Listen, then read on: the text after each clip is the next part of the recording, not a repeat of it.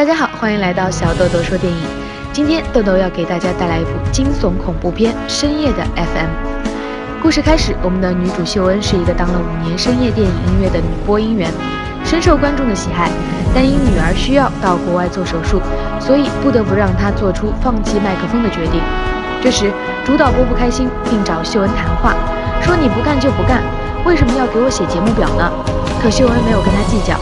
今天是秀恩最后一天做直播，并去了 FM 直播间，发现今天的听众是一个憨厚的大叔，并将自己台上的礼物也随之丢进了垃圾桶。另一方面，秀恩的妹妹在家照看两个孩子。不幸的是，一个来历不明的猥琐男闯到了他家中，并捆绑了秀恩的妹妹。此时，秀恩休息期间看手机有一条短信，以为是妹妹开玩笑，并打电话回去。可接电话的就是那个猥琐男，并要求按照节目表播放节目。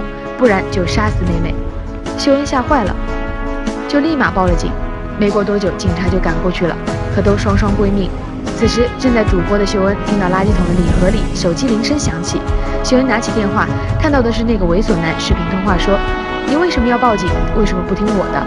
之后并以妹妹做人质，要挟秀恩按照自己的播放表来做节目，要求放第一个节目，因为第一个节目是秀恩早年的节目，因记不清放错了。导致妹妹被砍掉了一个脚趾头。猥琐男再次提醒：“再给你一次机会，如果再放错，就砍掉你妹妹的脚。”可正在做节目时，主播男赶到了，把他们骂了一遍，并换了一首欢快的曲子。这时猥琐男发飙了，直接刺死了妹妹。秀恩因此晕了过去。醒来之后，秀恩要求用移动直播间，开车回家与猥琐男谈判。另一方面，家里的两个女儿也被发现并抓了起来。这时，猥琐男已经离开了秀恩家。正在上车时，秀恩眼睁睁地看着自己的两个孩子被抓走，却无能为力。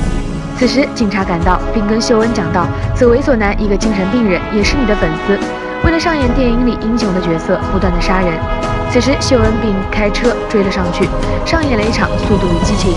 秀恩追到了猥琐男，双双扭打在了一起。另一方面，憨厚大叔救出了两个女儿。最后，在秀恩的一枪爆头中，故事结束。